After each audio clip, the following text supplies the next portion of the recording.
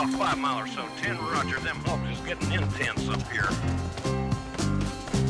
By the time we got into Tulsa town, we had 85 trucks in all. But there's a roadblock up on the cloverleaf, and them bears was wall to wall. Yeah, them smokies as thick as bugs on a bumper. They even had a bear in the air. I says, calling all trucks, this here's the duck. We about to go a hunting bear.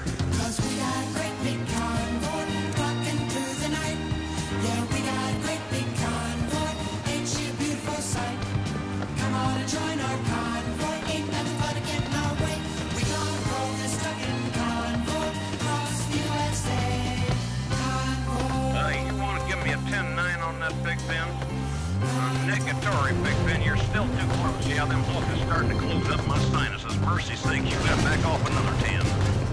Well, we rolled up Interstate 44 like a rocket sled on rails. We tore up all of our swindle sheets and left them setting on the scales.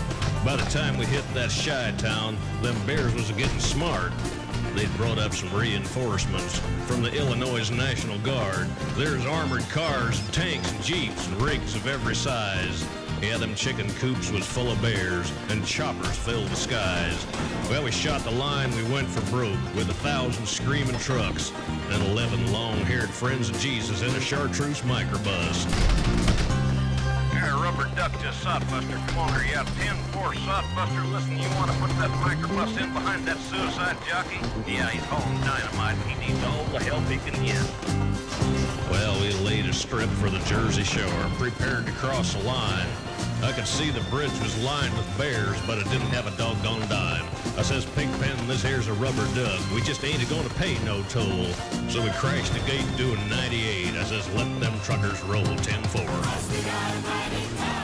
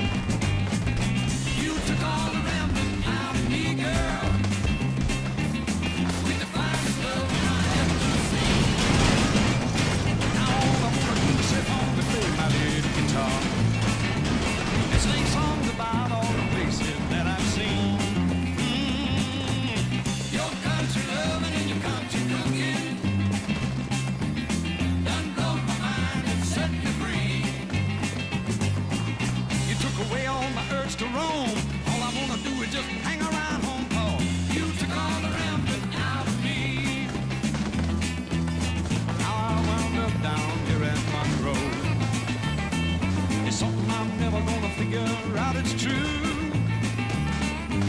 But your sweet love settled me down, made me quit all my rambling round. Now all I wanna do is sit home and go with you.